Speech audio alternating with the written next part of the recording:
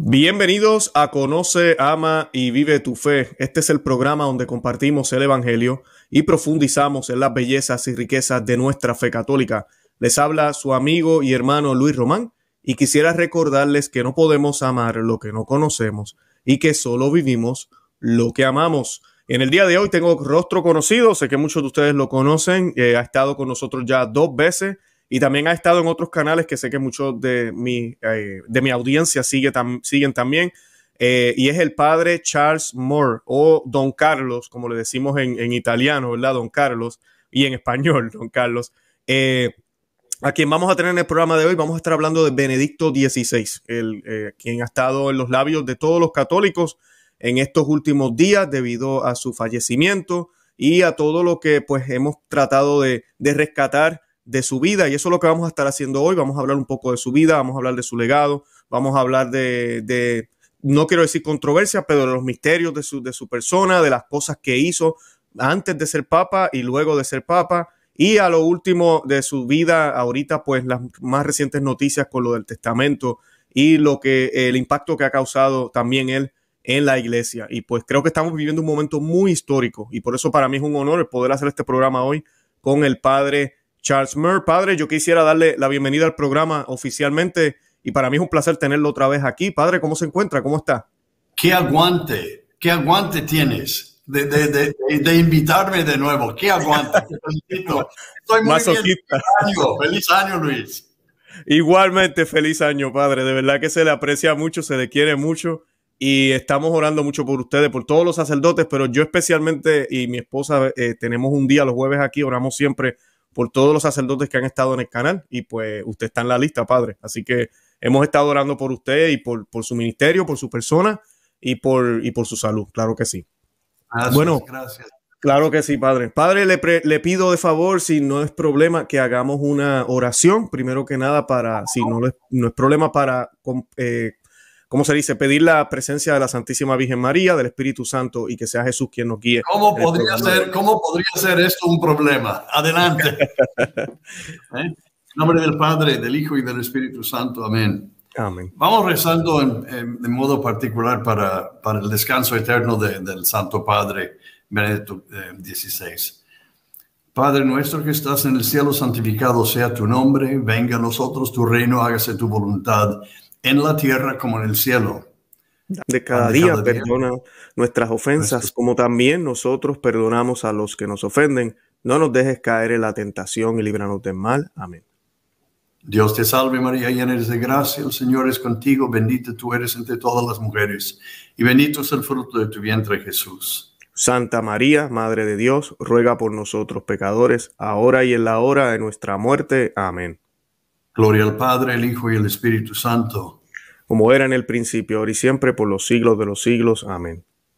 Dale, Señor, el descanso eterno. El y que brille para él la luz perpetua. Que descanse en paz, así sea. Que su alma y todas las almas de los fieles difuntos, por la misericordia de Dios, descansen en paz. Así sea. Así Padre, sea. Y Espíritu Santo. Amén. Padre, gracias. Al contrario, gracias a ti. Bueno, padre, para comenzar, yo quisiera preguntarle, para irnos más como al, principio, ¿cuándo fue la, primera vez que usted escuchó de este joven eh, cardenal, eh, o no cardenal en aquel tiempo, era, eh, según tengo entendido al principio de, juventud, él tuvo mucha fama de ser, buen, de, ser un famoso teólogo, Joseph Ratzinger, y, y, de todo lo que hacía en la iglesia, su participación también en el Vaticano II. que, ¿Cuándo fue la primera vez que escuchó de este individuo, si podemos decirlo así.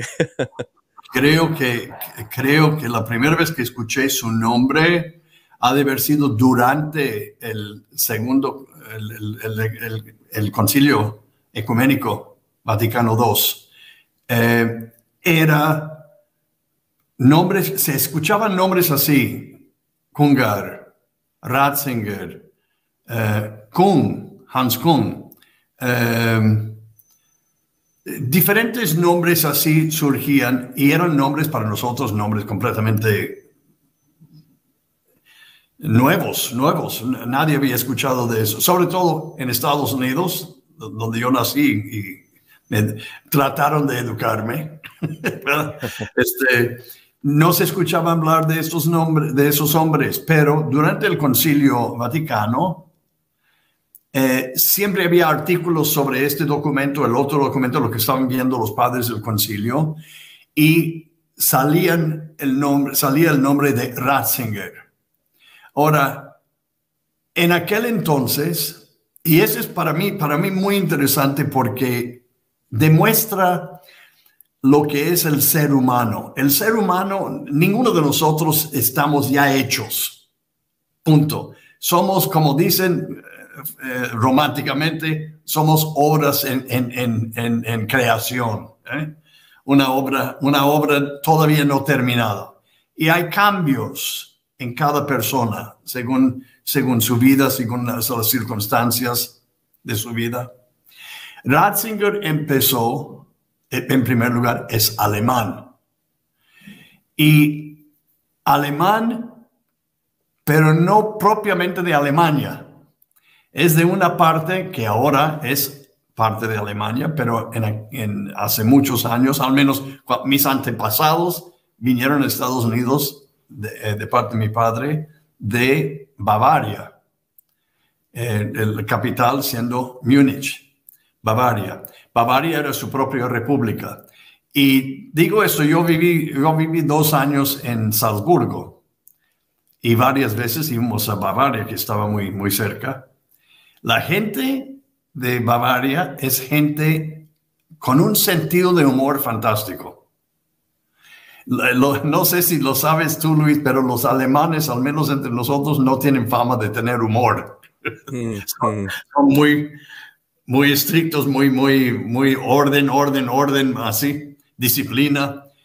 Pero los de Bavaria son, es un pueblo más abierto, eh, les encanta, les encanta cantar, bailar, polcas, este, música les fascina y el buen humor. Y también este, una cervecita de vez en cuando. Ah, la cerveza, ajá. muy famoso. Es ahí el, el Oktoberfest, ¿verdad?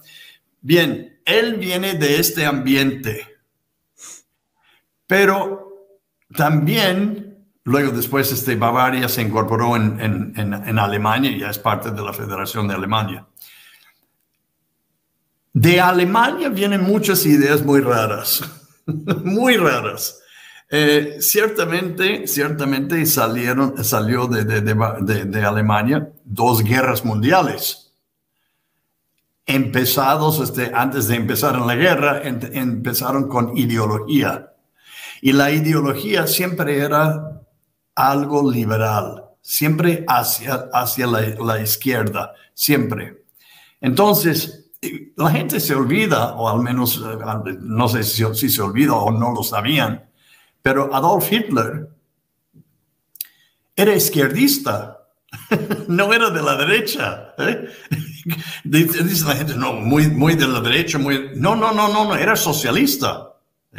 Bien, las ideas, lo que quiero decir es que muchas ideas de Alemania, de las universidades, de los intelectuales alemanes, eran de izquierda, de revolución. Em, de ahí salió salieron muchas teorías de muchas cosas. El marxismo fue desarrollado mucho en Alemania por Karl Marx, alemán, judío alemán. Pero también la teología de la liberación, y muchos no, no, reconocen esto, la teología de la liberación, que para mí es una plaga, ¿eh? es, es, una, es una plaga internacional, porque está está basado sobre el marxismo y este es, es, es, en conflicto con el cristianismo y ciertamente con el catolicismo. Pero la, la teología de la liberación fue creado en Alemania. Luego lo exportaron a, a América Latina. Los alemanes son muy buenos para inventar teorías. Luego los exportan Hmm. para, que, para que sean este, ensayados, practicados en otras partes. Así. Bueno, la liberación o la, la, libertad que tenían los alemanes en las universidades y todo era casi sin límite. Y Ratzinger, regresando a nuestro tema del, de Joseph Ratzinger, de, joven sacerdote, él escuchaba, él escuchó todas esas teorías, diferencias, etc. También estaba, estaba viviendo en un país dividido religiosamente. La mayoría eran protestantes, luteranos principalmente, y la, minoría fuerte, pero minoría católico. Y siempre había una fricción entre los dos, católicos y protestantes, y estaban buscando desde antes del concilio reconciliarse los católicos con los protestantes, no tanto los protestantes con los católicos, pero al menos de parte de la Iglesia Católica y teólogos católicos, la reconciliación con los protestantes. Bien, ahí nació Joseph Ratzinger. Al seminario terminó, era brillante. De eso, de eso no tengan duda. Tenía un cerebro excepcional, un intelecto excepcional. Eh, sabía sabía Tomás de Aquino fabulosamente bien. Yo creo que soñaba en latín. ¿Eh? Su latín es magnífico. ¿eh? Eh, me gustaría tener un latín como él. Hablaba, hablaba francamente, fácilmente en latín. Bello. pero él empezó también a agarrar ideas modernistas, vaya, modernistas. No tenemos tiempo para entrar en todo lo que es el modernismo, pero yo creo que, tu audiencia ya sabe bastante sobre el modernismo, cómo invadió todas partes de la iglesia antes del concilio, mucho antes del concilio. Bien, él como que aceptó esas ideas liberales modernistas y cuando llegó el momento de, llamar el Concilio Vaticano en 62, él fue un perito. ¿Qué es un perito? Un experto, un experto en teología. Había varios de todo el mundo, varios, había muchos que mandaron al concilio, no eran obispos. Claro que, que el Papa Juan XXIII llamó a 2.000, más o menos 2.800 obispos de todo el mundo al concilio, pero también invitaron a unos teólogos expertos en teología de diferentes partes del mundo. Hans Kuhn de Alemania llegó. Eh, Kungar de, si no me equivoco, de Bélgica llegó.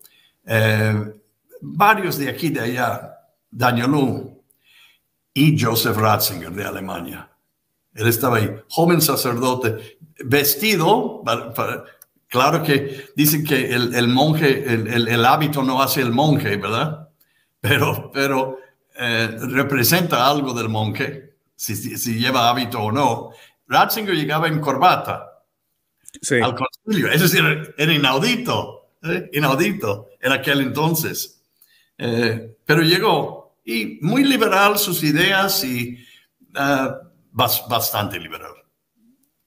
Y así seguía. Era profesor de teología en Tübingen.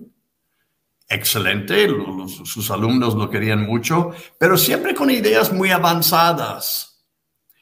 Eh, ¿Por qué? A, este punto para, nos paramos un momento para ¿por qué? Claro que fue lo que, lo que estuve, estuve explicando de Alemania, de, de, de, su, de, su, nacimiento y sus tradiciones, etc. Pero también fue porque él pocas veces estaba en una situación de parroquia, de, estar con gente, de casar a la gente, de escuchar confesiones, etc. Yo me acuerdo, hago un paréntesis aquí, me acuerdo una vez que hablé con, un, un sacerdote ya mayor de edad en la curia romana, bajo Pablo VI y me admitió y admitió que no había escuchado una confesión en años. Hmm. En años. ¿Por qué? Porque nunca, nunca se, sentó en confesionario. Él estaba de oficina.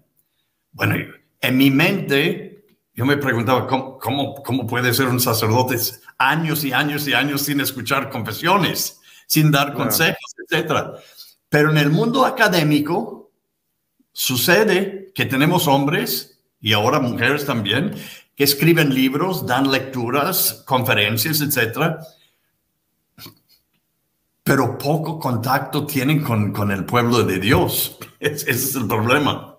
Bien, Ratzinger fue uno de ellos. Fue un intelectual y un académico, daba clases en la universidad y su mundo, este era su mundo.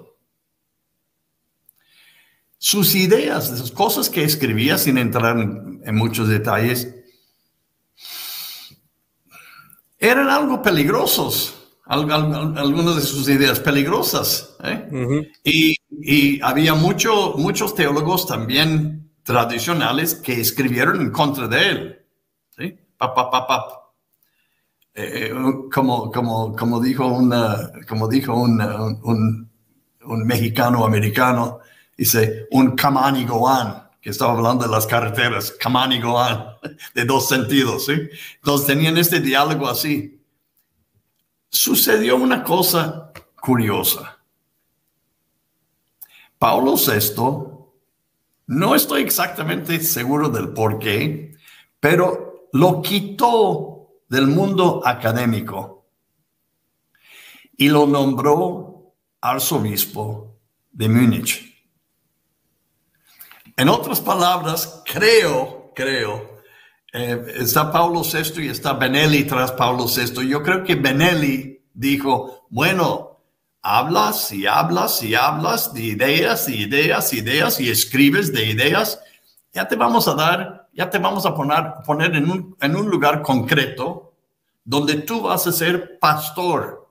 Y no solamente pastor de una, de, de una parroquia, sino de toda una diócesis. Y vas a tener que tratar con sacerdotes, algunos difíciles, pero con sacerdotes que van de tu misma línea, que tienes años escribiendo y enseñando, ¿eh? Modernistas. Claro. Y a, Ver, y a ver qué tal. Joseph Ratzinger, que era un hombre, un hombre humilde, ¿eh? a pesar de ser muy famoso y muy conocido, nunca perdió humildad. Yo lo conocí, en, hablé varias veces con él y era un alma de Dios, un alma muy sencillo, no complicado. Pero una vez hecho arzobispo de Bavaria, de, Bavaria, de, de Múnich, empezó a ver los problemas. Hmm. Y tenía que enfrentar los problemas y tenía que dar soluciones a los problemas. Y, y yo creo que dijo dentro de sí, válgame Dios. Y fue cuando él empezó a cambiar. Este fue el inicio de su cambio. Que vio que muchas de las cosas que él mismo escribía, enseñaba, etcétera, no andaban bien y no eran cosas sanas. Y él, de, como obispo, ya lo estaba viendo. Estaba viendo el resultado. E hizo un cambio, un cambio bastante agradable, porque vino con todo lo, bueno y lo malo de su, de su pasado, de su manera de pensar, digo, criticó, empezó a criticar lo malo, corregir, corrigiéndolo y escribiendo libros bastante buenos, pero muy diferentes de lo que había escrito antes. Eso nosotros católicos, lo sabes muy bien Luis, lo llamamos conversión. Mm, eso mismo Conversión. Eh, el otro día alguien me estaba preguntando, eh, yo durante tantos años traté de ayudar a un amigo muy conflictivo, muy, muy hasta mal de la cabeza. Dice, ¿y usted por qué está perdiendo tanto tiempo ah, buscando de ayudarle? Porque es mi trabajo Estoy buscando su conversión. Quiero, quiero, la redención, la redención es posible para todos los hombres y requiere una conversión y todos podemos convertirnos. Y aún los convertidos se pueden convertir. Siempre nos podemos hacer mejor. Joseph Ratzinger se convirtió, hubo una conversión en él y se hizo, él descubrió el catolicismo, el catolicismo tradicional y moderno, el de, hoy, y empezó a tener mucho éxito también como obispo. Pudo hablar con sus sacerdotes ya de problemas personales, de problemas de parroquia, y ya estaba entendiendo la problemática y estaba encontrando soluciones y ganó el respeto de su clero. De verdad. Y es, es difícil, ¿eh? Porque a lo mejor la gente no lo sabe. Pero una audiencia de lo más difícil, una audiencia muy difícil, es una audiencia de curas. y para un obispo, de verdad, de tener que tratar con 500 sacerdotes, mil sacerdotes, cada, decimos, cada, cada cabeza es un mundo, ¿verdad? Y tener paz y armonía entre este, esta familia eh, diocesana no es fácil, no es fácil. Y lo logró.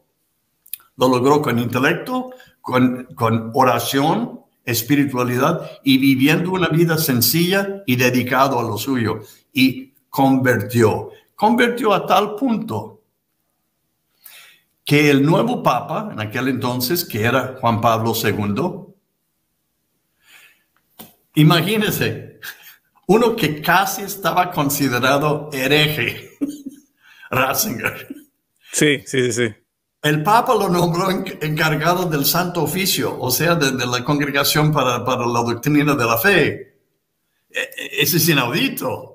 Claro, y que hizo un buen trabajo. Eso lo sabemos ya. Excelente, excelente. Pero ese es el resultado de una conversión. Claro, padre, quería, quería añadir algo porque usted está hablando y me confirma eh, del testamento que Benedicto XVI publicó en esto, bueno, que, fueron que fue publicado por su secretario en estos días. Eh, había una parte que usted le acaba de confirmar, porque él menciona, él habla de las ciencias y él habla de cómo él siguió y estuvo siguiendo las distintas ciencias naturales desde hace mucho tiempo. Y él dice, y he visto cómo, por el contrario, las aparentes certezas contra la fe se han desvanecido, demostrando no ser ciencias, sino interpretaciones filosóficas, que solo parecen ser competencias de la ciencia. Y él dice, desde hace 60 años acompaño el camino de la teología especialmente en las ciencias bíblicas, y con la sucesión de las diferentes generaciones he visto derrumbarse tesis que parecían inamovibles y resultar meras hipótesis. Y después él menciona aquí, usted hablando del liberalismo, la generación liberal, Harnack, eh, no sé cómo se dice, Julisher, la generación existencialista, Bullman, eh, la generación marxista, que usted lo acaba de mencionar, padre, He visto y veo cómo de la confusión de hipótesis ha surgido y vuelve a surgir lo razonable de la fe. Jesucristo es verdaderamente el camino, la verdad y la vida. Y la iglesia, con todas sus insuficiencias, es verdaderamente su cuerpo. Y creo que es una afirmación de él, tal vez de todas las vueltas que dio en su vida. Y en el testamento refleja que a pesar de mirar y otros también, y él acompañar lo bíblico con algunas cosas, al final del día, realmente la conclusión, Jesucristo es la verdad el camino y la vida, no hay de otra. Eh, que sabemos que él lo sabía, ¿verdad? Pero a veces somos así, somos humanos y nos gusta darle vuelta al asunto y tratar de, empaquetar las cosas de diferentes maneras para que se vean más distintas o más agradables a los oídos de otros y podemos caer en el error por tratar de hacer eso. Que los teólogos, que hablando de eso, Benedicto XVI le habló mucho a los teólogos también cuando era ya papa. Eh, y pues es excelente, es excelente. Así que quería rescatar eso porque creo que va muy bien con lo que usted mencionó. Y ese fue el testamento que publicaron en estos días, parte del testamento que confirma lo que usted acaba de, mencionar, padre. Ahora, ya con Juan Pablo II, ¿qué vemos entonces de Benedicto? Bueno, no Benedicto XVI, Cardenal Ratzinger. Porque usted mencionó la teología de la liberación, ya yo me estaba acordando de eso. Que Leonardo Boff, y perdone que me la adelante, pero Leonardo Boff odiaba al Papa Benedicto XVI. Lo manifestó ellos lo manifestaron. Eh, porque pues, el Papa Benedicto XVI correctamente, junto con Juan Pablo II, por supuesto, eh, condenaron la teología de la liberación. Que usted la mencionó también de Alemania, me parece interesante. Nació en Alemania, así es. todas las ideas más raras del mundo nacen. También ideas buenas, ¿eh? También alguna que otra buena, pero... Muy buenos carros, ¿no? las locuras que estamos viendo hoy vienen de Alemania. Eh, más que, más que, que, que Leonard Boff, había otro sacerdote uh, que, que, lo llaman Gustavo Gutiérrez. Ah, también, sí. Si no me equivoco, de Perú. Sí. Creo que de Perú. Eh, la primera, es más, la primera vez que yo hablé uh, persona a persona con Ratzinger en su oficina, yo llegué con un asunto uh, de tratar con él. Estuve también acompañado por un monseñor de Nueva York, el monseñor Maniscalco, creo que todavía vive, buen hombre. Entonces estuvimos hablando los tres de un asunto, algo, algo interesante e importante, y al, a, los 20, 25 minutos entra su secretaria, su secretario y, nos, le dice, Eminencia, eh, acuérdese que tiene cita con, con, el, padre, el padre Gustavo Gutiérrez, que está, aquí está en la oficina afuera. Mm. yo hubiera dado, yo hubiera dado mucho, hubiera dado estos dos dientes para estar presente en esa plática, porque creo que le, le, habló bien claro de puntos positivos de la teología de la liberación, que, que ciertamente hay, el problema con todo eso, Luis, es que hay cosas positivas mezclado con lo negativo o viceversa. No, así es. Y, el, problema es separarlos y tomar lo bueno y, negar lo, malo, quitar lo malo. Claro. Por eso llamó a Gustavo Gutiérrez y estaba en la oficina, lo saludamos cuando salimos y tenía una cara de muy preocupado, no sonriente, muy preocupado. Porque, ¿Por qué? Porque Juan Pablo II hizo una cosa muy inteligente al nombrarlo a él prefecto de, la Congregación para la Doctrina de la Fe. Ratzinger no era el tonto de nadie. Era, era años luz más inteligente de cualquier persona que tenía que verlo sobre cuestiones doctrinales. Y también llegó ya maduro, ya no un, un joven sacerdote sin experiencia, pero mucho hablar, llegó maduro, entendió, vivió y también tenía la voz de experiencia. Eh, era buenísimo todo lo que él definió. Una cosa curiosa de él, eh, y lo tengo, lo tengo mencionado en mi libro de la masonería, En el nuevo código del, derecho canónico, que fue 83, creo que 83. Sí, 83. Era completamente ausente mención de los, de los masones y de la excomunión de los masones. No estaba ahí, para nada. Bien, en eso, en eso, llegó el cardenal Gañón y otros a ver a Ratzinger, el cardenal Ratzinger. Dijeron, ¿cómo es posible que, ese era otro departamento? había un, comité para la renovación del derecho canónico, ¿ok? Mm. Pero e, ellos eran los responsables para eso. Lo llamaron la atención, le dijeron al cardenal Ratzinger, ¿cómo es posible que no dice nada? O sea, da la impresión de que ya no hay ningún problema con masones entrando en, unión completa con la iglesia. La ausencia de esto dice que todo está bien. ¿eh?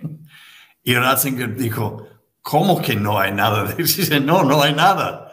Lo estudió él, el día siguiente escribió una carta reafirmando eh, precisamente la la, enseñanza uh, de, que los masones no pueden ser católicos.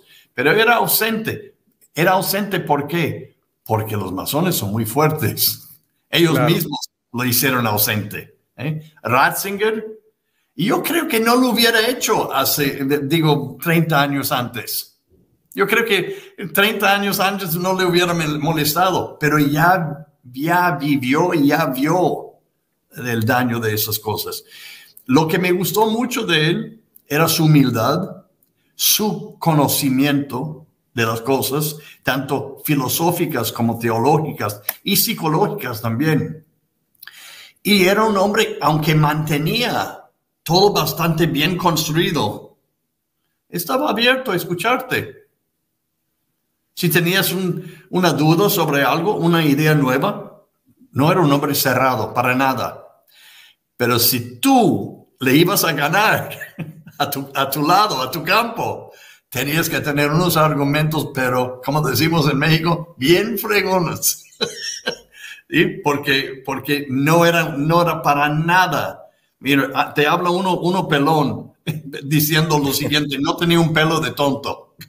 Claro. Así es. Pero un hombre brillante.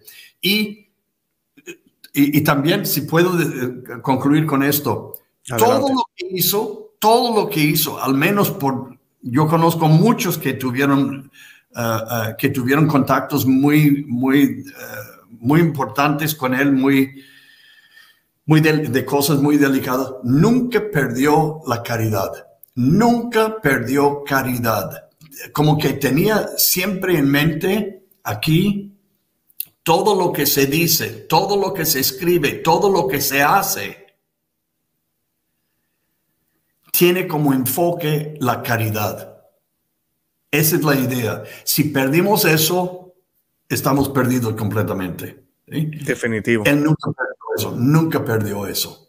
Todo era en caridad. Aun cuando tenía que corregir, sobre todo a sacerdotes y a obispos que necesitaban corrección, lo hizo con caridad. Todo el mundo te dice lo mismo.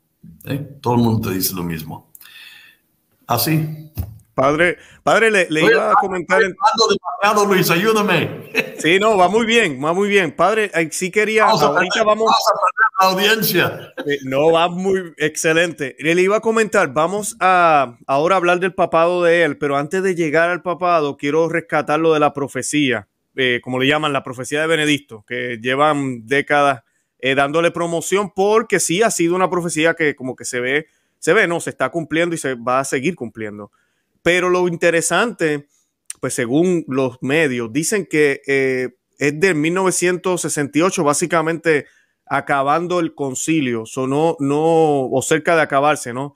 Eh, no sé qué pasó, por qué él dijo esto en aquel momento. Tal vez usted me pueda ayudar, padre. Eh, pero él dijo, tendremos sacerdotes reducidos al papel de trabajadores sociales. Bueno, sabemos por qué, ¿verdad? Y el mensaje de fe reducido a una visión política.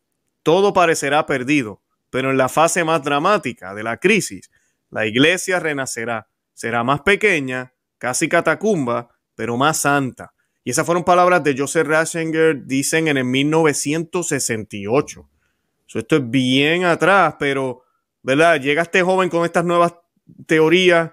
Parece que ya en el Concilio Vaticano II, un hombre brillante se da cuenta de que, ok, estamos tomando esta ruta, posiblemente el resultado va a ser esto. ¿Qué, piensa usted, padre? Bueno, eh, eh, este, también, este, eh, tomamos el, contexto y el contenido. En 78, el concilio ya llevaba tres tres o cuatro años terminado. Eh, ¿Cómo decirlo? Nosotros que vivimos, yo me acuerdo cuando llamaron el concilio en 62, yo tenía 12 años de edad. nos, nos llenó esto, al menos estoy hablando como católico y como americano. Bien, en, el, en aquel entonces, a los 12 años de edad, en escuelas católicas, tuvimos el primer presidente católico de Estados Unidos, John F. Kennedy. Tuvimos un papa que al aparentar, este, al parecer, este, todo el mundo lo quería mucho. Los protestantes, los judíos, los musulmanes, todo el mundo quería a Juan 23, porque era simpático Mm.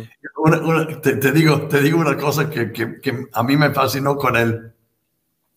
Una vez estaba viendo por la, televisión eh, él estaba leyendo, creo que uno de sus encíclicas, Mater Magistra, creo, pero era tan chaparito y gordito, pero un hombre que sabía reírse de sí mismo, ¿eh? No se tomaba, no se tomaba tan en serio. Sus pies no alcanzaban el piso, el suelo. Estaban en el trono papal. y sus pies estaban como, como así, así de, de, de, no podían tocar. Y llegó un monseñor con toda la reverencia y etiqueta que tenían de, ceremoniero, y con eh, sobre una charola de plata, un cojín, y lo puso debajo de sus pies, porque cuando estaba hablando, estaba, sus pies estaban así, ¿sí? Bien, teníamos esta combinación de estos dos hombres, uno guiando el mundo secular y el otro el mundo religioso, los dos Juanes, Juan Kennedy y Juan 23. Y nosotros pensamos que estamos en el cielo. Ya habíamos logrado mucho, porque muchos sufrieron los católicos en Estados Unidos, mucho, mucho, de, de, de odios, rencores, falta de trabajo, etcétera, unos prejuicios tremendos. ¿eh? No son solamente los negros y, los, los, asiáticos y etcétera que sufran, que sufren prejuicios. También hemos sufrido todo. Mire, yo estoy haciendo muchos paréntesis, ¿verdad? no, pero va bien. Me puedes, me puedes callar al, momento que quieres. Pero yo me acuerdo que hablando con un joven, un joven negro en Boston, eh, curiosa, curiosa cosa, estuve yo en un, en un tram y vi a un joven como de, no sé, no tenía 25 años de edad todavía, a lo mejor un universitario algo, estaba leyendo un libro. Y leía el libro, estaba sentado a mi lado y estaba leyendo el libro así. ¿sí? Moviéndose los labios. Y yo dije, ¿le digo o no le digo? ¿Le hablo o no le hablo? No lo conozco. Además, además es un joven negro y yo soy un viejo blanco, a lo mejor lo va a tomar mal. Que, Finalmente me, animé, me puse a, su lado y dije, ¿te puedo decir una cosa?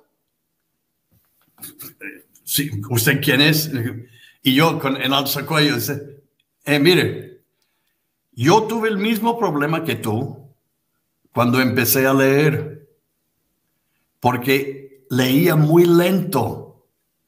Y leía muy lento porque yo estaba pronunciando cada palabra que estaba leyendo en lugar de leer con mi mente. Estaba leyendo con mi boca. Y al hacer eso, lento, lento, lento, porque puedes, puedes leer en silencio mucho más rápido que así. Dice, ¿por qué? Le dije, ¿por qué no tratas de hacerlo? Veo, veo que eres inteligente, veo el libro que estás leyendo y supongo que eres estudiante. Solamente dije, te quiero ayudar tantito. ¿eh? Y si, si, si, es de provecho, muy bien. Si no, puedes decir, pues este, este viejo, viejo sacerdote sonso eh, que se metió en, en. Se quedó tan contento se quedó tan contento. Dice, ¿en serio yo leo así?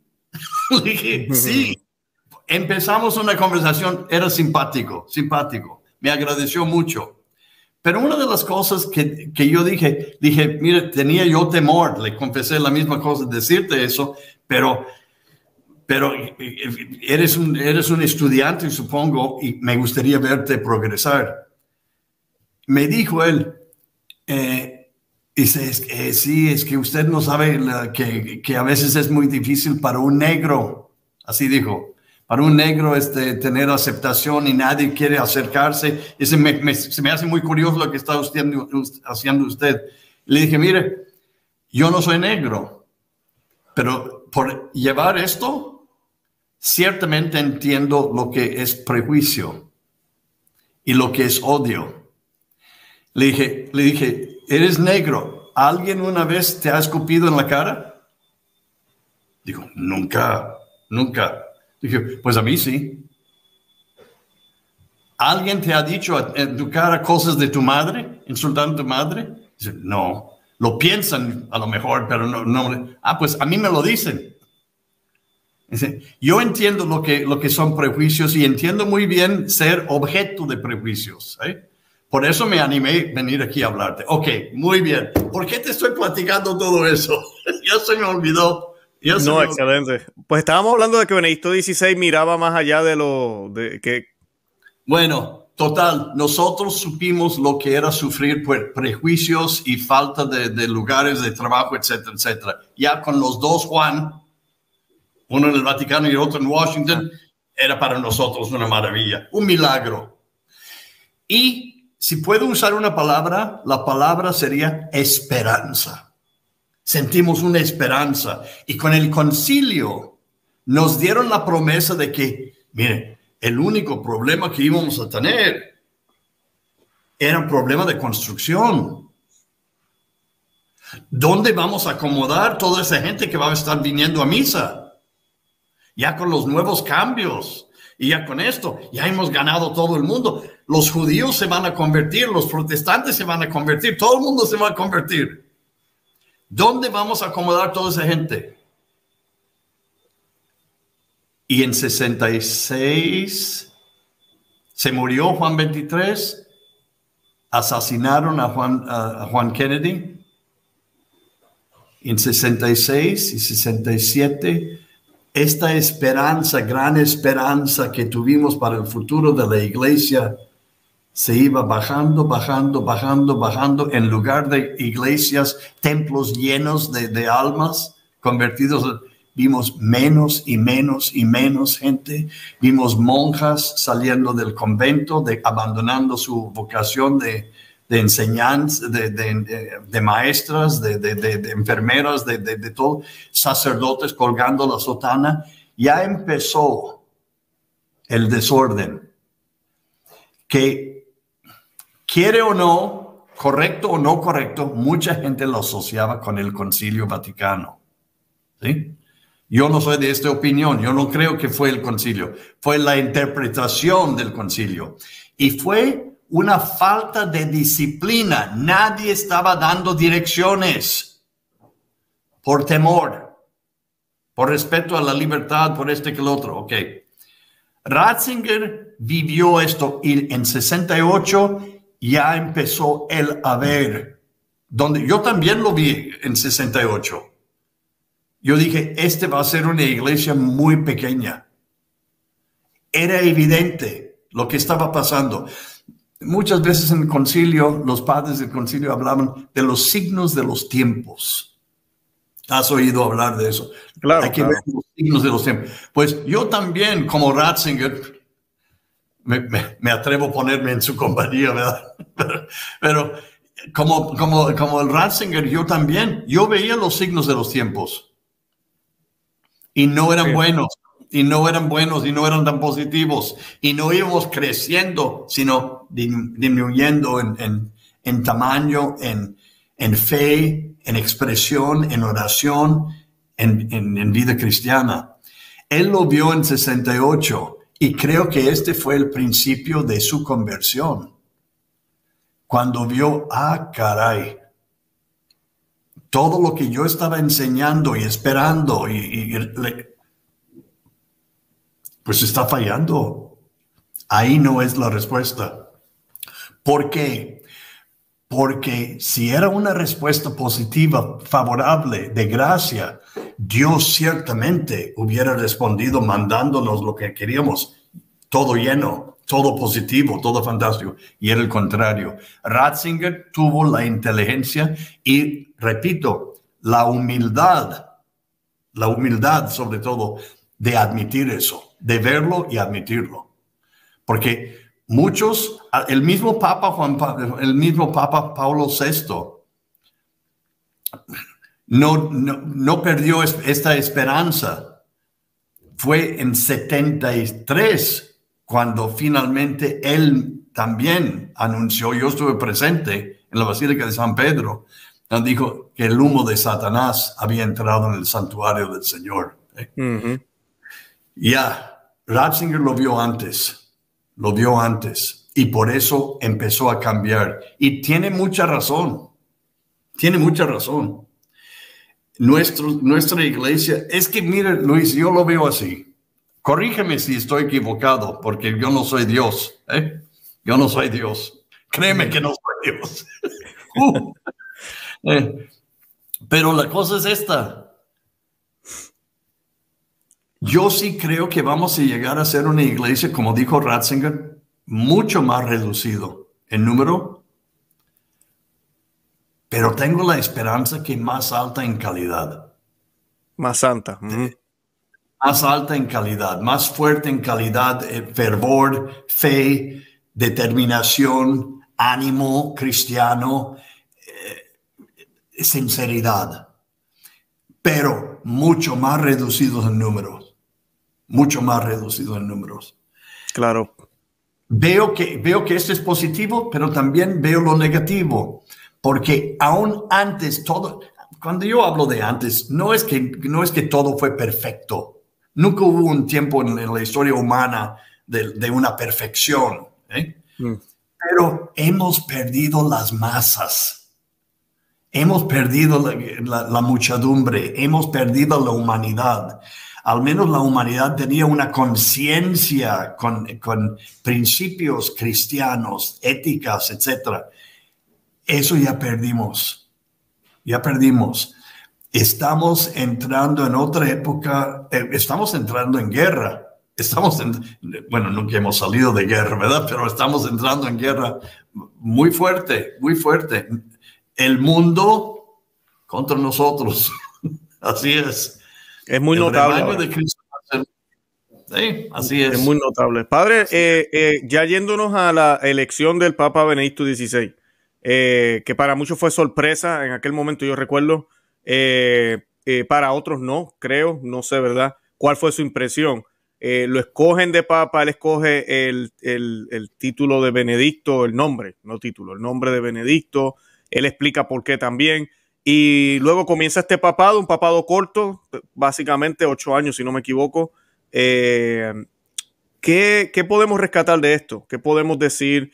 Eh, obviamente voy a hablar de su moron pontífica ahorita, pero fuera de eso, ya con esta conversión que vemos de él, un magistral trabajo como perfecto para la congregación de la, doctrina de la fe, eh, y luego entonces como papa, que sé que muchos personas que tal vez tenían la esperanza de un camino abierto, ven a Benedicto y dicen, uh, espérate, aquí las cosas no, todavía no, no podemos, tenemos a Benedicto.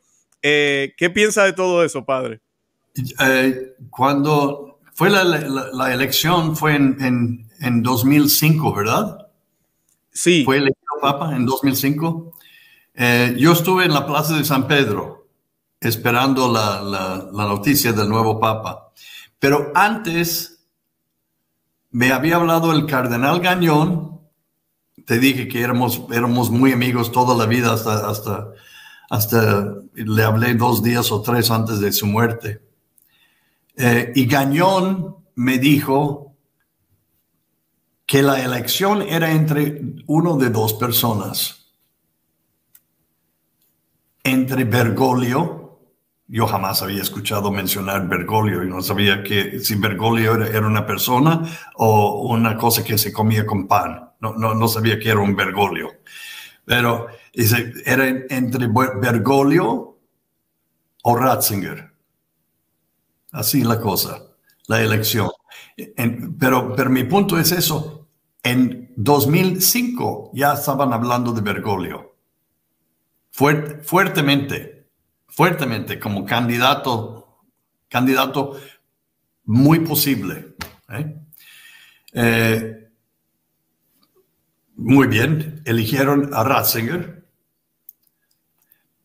pero jamás se me olvidó de la, de la competencia. Gañón no me hubiera dicho los dos nombres si la, si la cosa no andaba, no andaba curiosa.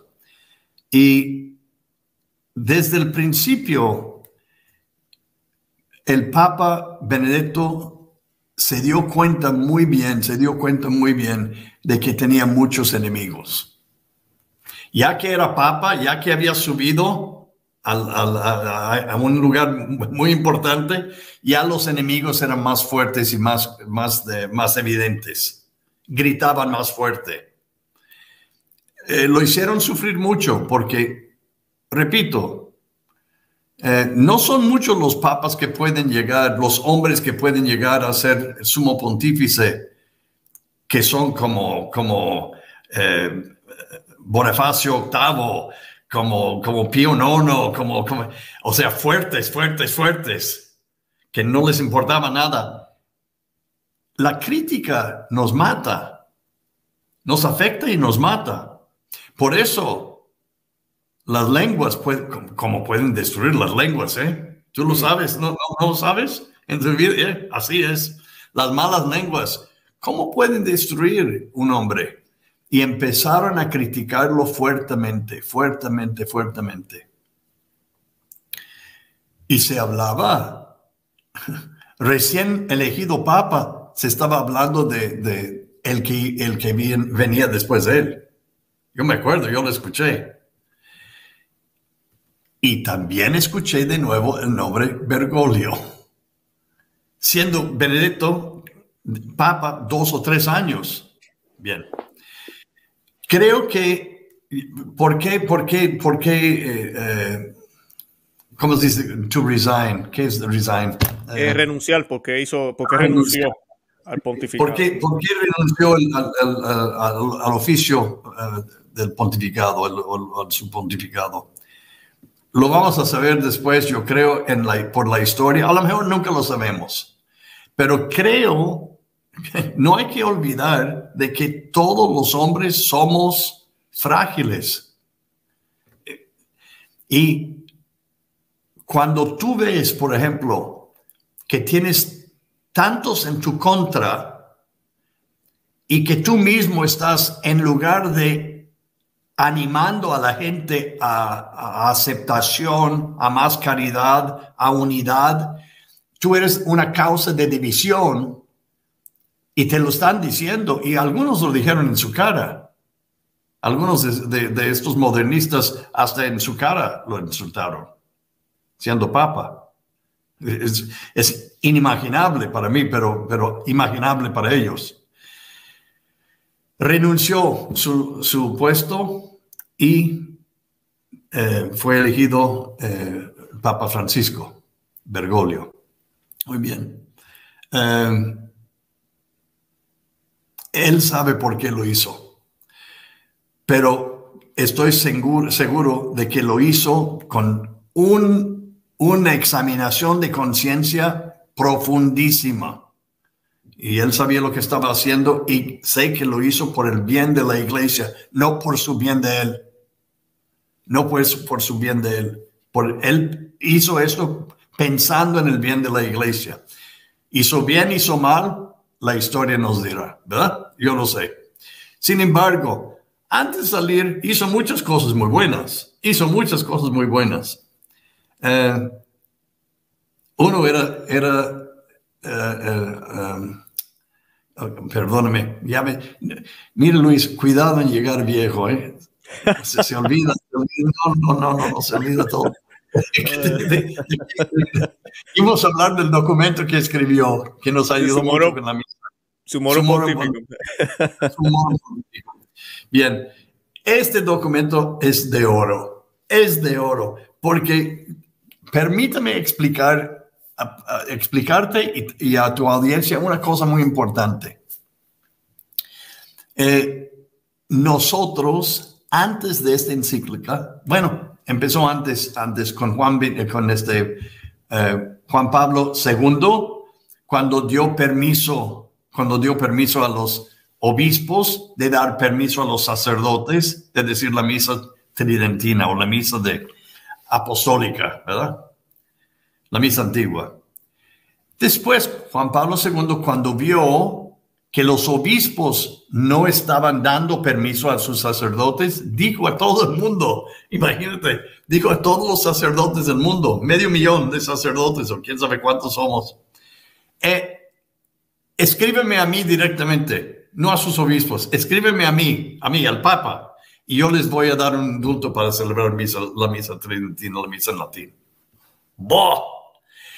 No puedo exagerar qué tan importante era esto para nosotros. ¿Por qué?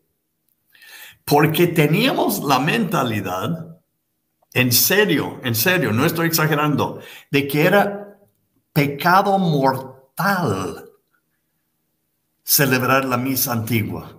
Increíble, ¿no? Ya. Es increíble, pero créemelo, yo de joven estudiante eh, tuve un gran maestro jesuita, el padre Vicente, Vincent Micheli. Un grupo de nosotros le pedimos a, él, hablando en el café, ¿verdad? Que si por, por recuerdos de viejos tiempos, si, si podíamos tener una misa en latín, pues nosotros no sabíamos que él celebraba la misa en latín todos los días, nomás no lo podía decir. Tuvimos que ir a las cuatro y media de la mañana por autobús hmm. a, las, catacumbas de San Calisto, subir a las catacumbas con nadie alrededor, nadie en privado, todo sí, a decir la misa en latín. Para que él no, no tuviera problemas, suspensión adivines por sus superiores, etcétera, etcétera. Así era la cosa. Entonces, cuando el Papa Juan Pablo II dice, no, escríbeme a mí, yo les doy permiso. ¿Qué qué? Eh, y, así. Y luego, luego, que llega Benedicto, Benedicto, y dice, no, no hay necesidad de escribir a nadie. Tienen permiso.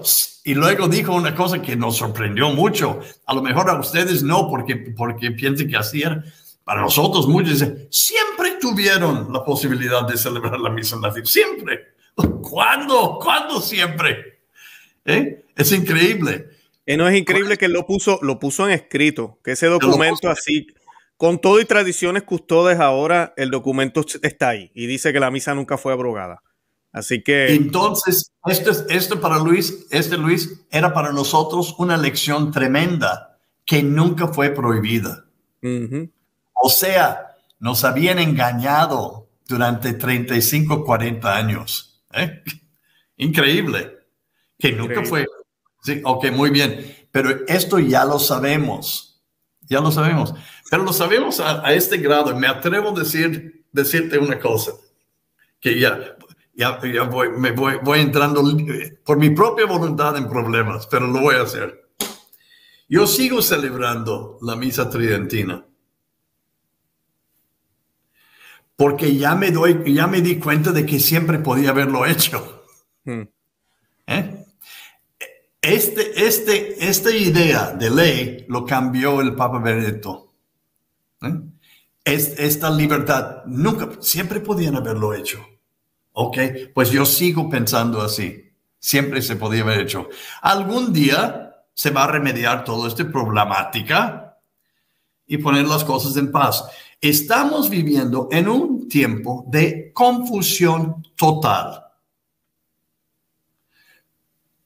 Pero algún día llegará la solución, paz, tranquilidad, entendimiento. Una, otra paréntesis. Adelante, padre. Lo que yo, yo, no sé qué desayuné hoy, hoy en la mañana para, para, andar tan, lleno de, de, plática, lleno de palabras y, hablador además. Es que raro. Es raro. ¿verdad? Bien. Pero mira, la cosa es esta. La, la, seguimos, seguimos con esto. Una de las definiciones del infierno, que está en el Dies Irae, para los que se acuerdan la, la misa de Requiem, tienen que leer eso. El Dies Irae de vez en cuando, leerlo, es precioso en la misa de Requiem. Y, y, otro paréntesis dentro del paréntesis, y cuando terminan de leerlo, luego tienen que comprar de Herbert von Karajan eh, el Requiem de Mozart.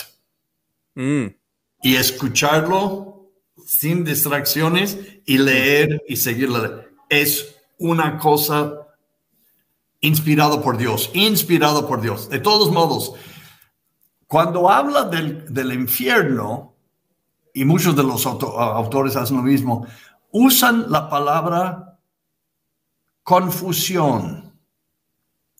Non confunderme en eterno. No me dejes en confusión para la eternidad. Ese es el infierno. El infierno es confusión. Confusión, no entender, no entender. El cielo es entender todo en paz y tranquilidad, el entendimiento, la sabiduría, el conocimiento, estar unidos completamente con Dios, que Dios sabe todo. El infierno es confusión. Estamos viviendo una especie de infierno. ¿Sí?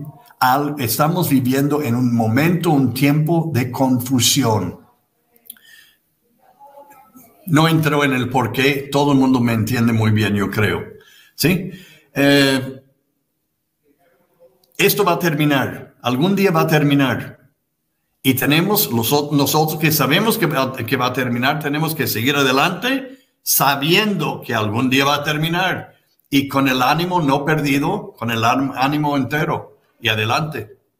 Y gracias al Papa, al Papa Ratzinger, ya sabemos, sabemos que hay un futuro que no lo pueden quitar. Él dijo en ese documento, si, si desdicen lo que, lo que él, él, ha dicho, estamos, no, no, no, andan mal ellos, no nosotros. Así es que... Así mismo excelente. ¿Sabes qué? Me parece excelente lo que mencionó de, de, la confusión y el infierno, porque una de las frases del testamento de el Papa Benedicto XVI, manténganse firmes en la fe, no se dejen confundir.